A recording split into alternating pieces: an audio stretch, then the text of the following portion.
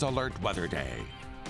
Intense storms are moving through our state right now, and with the possibility of tornadoes, severe thunderstorms, and flooding, our team has declared a WSFA First Alert Weather Day.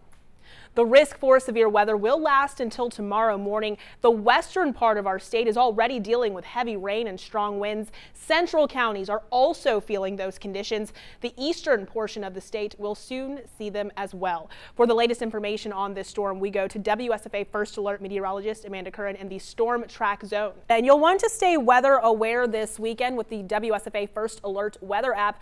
Our meteorologist will update the forecast there and send out severe weather notifications. You can also use the interactive radar to track rain in your area.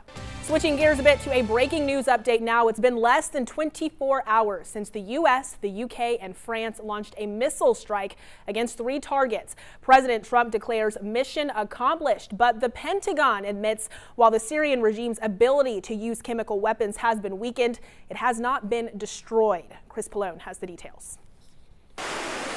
An independent chemical weapons watchdog group is in Syria now. The group is working to determine whether the alleged chemical weapons attack last Saturday really happened. U.S. military sources say blood samples taken from the people in the area prove that it did. United Nations or not, Russia and Iran are condemning the missile strike. Russia's President Vladimir Putin called the attack an act of aggression. Meanwhile, Russian military officials claim that out of the 103 missiles fired, 71 were shot down by the Syrian air defenses. That claim has yet to be verified. Alabama Senator Doug Jones says he supports the president's decision to launch strategic airstrikes against Syria. In a statement released today, Jones says in part, it is my hope, as General Mattis stated last night, that Assad gets the message this time and that further action, which should be done with congressional approval, will not be necessary. At least three more Alabama congressional leaders have come forward supporting the move.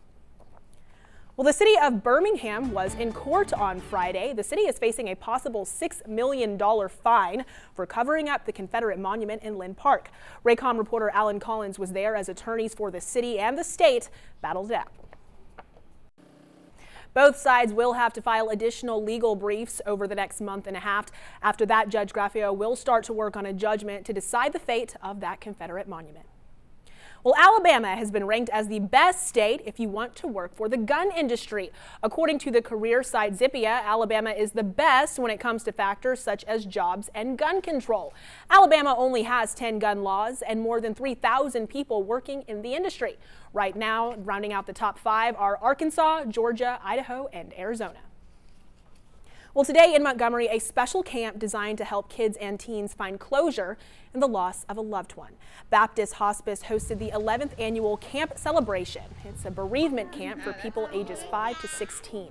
There are fun things like food and games, but those participating also learn coping skills they can use during the grieving process. At the end of the one-day camp, officials hold a memorial service for the kids to honor their lost loved ones and hopefully feel a sense of closure.